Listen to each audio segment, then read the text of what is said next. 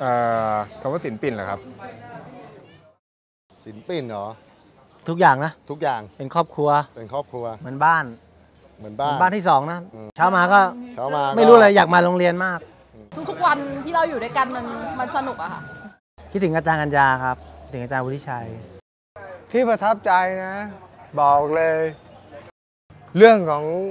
คำว่าเพื่อน ผมไม่มีเงิน ผมมีเงิน 50 บาท มันลากผมไปอยู่บ้านมันน่ะจากเงิน 50 บาทของผมอะผมไปอยู่ได้เป็นเดือน ถ้าจะให้กลับมางานโรงเรียนวันที่ 28เนี่ยจริงๆอะเราบังคับใจใครเขาไม่ได้หรอก ผมเชื่อว่าทุกคนน่ะอยากกลับมา เพราะว่าในศิลปะไม่เคยทิ้งกันทุกรุ่น ไม่เคยทิ้งกัน จะบอกว่าก็เหลือกันแค่นี้นะครับ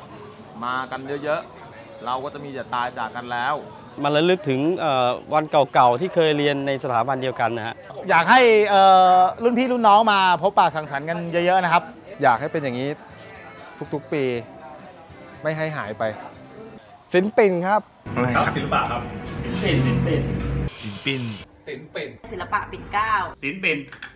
และป่าปิ่นเกล้าครับศิลปินสินปินครับศิลปินครับศิลปินครับศิลปินครับศิลปินครับศิลปินครับศิลปินเว้ยเราคือศิลปินข้าคือสินปินศิลปินเอ๊ะไม่ใช่อะนะสายตาที่เคยเฝ้ามองยังจำมือที่เคยประคองยัง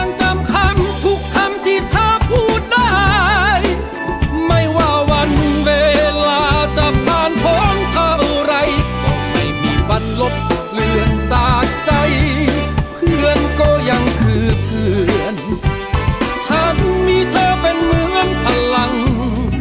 อันยิ่งใหญ่ ที่ไม่เคยทอดทิ้งถึงแม้จะต้องพบกับสิ่งใด และยังคงเดินต่อไปด้วยกัน